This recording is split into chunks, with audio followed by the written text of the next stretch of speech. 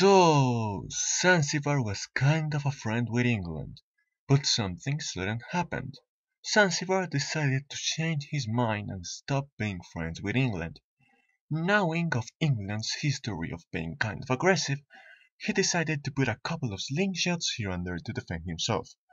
England decided to camp near Zanzibar's house, and early on the morning a couple of days later, England said to Zanzibar, Be my friend again or I'll throw rocks at your house. Zanzibar did not say shit, so England threw a rock and yelled, Fuck you.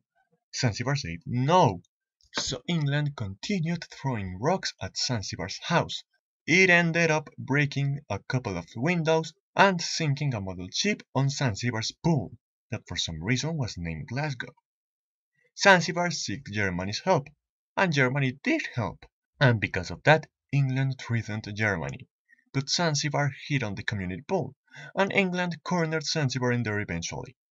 And he became England's friend again.